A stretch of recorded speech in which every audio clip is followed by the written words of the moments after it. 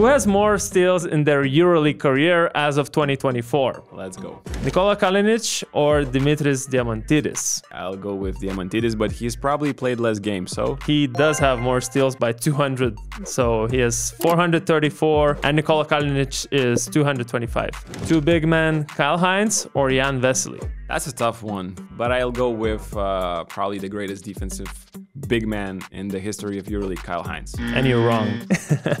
it is Jan Vesely, he has 40 steals more. What's their total? Kyle Hines 285, Jan Vesely 327. Okay. And last one, we have some legends, Marko Jaric or Vasilis Spanoulis. I have no idea about Marko Jaric. I'm sorry, but I'll go with Vasilis Spanoulis. He has more steals than Jaric, who averaged 1.8 steals per game, but played way fewer games. Wow. Two out of three. You got it.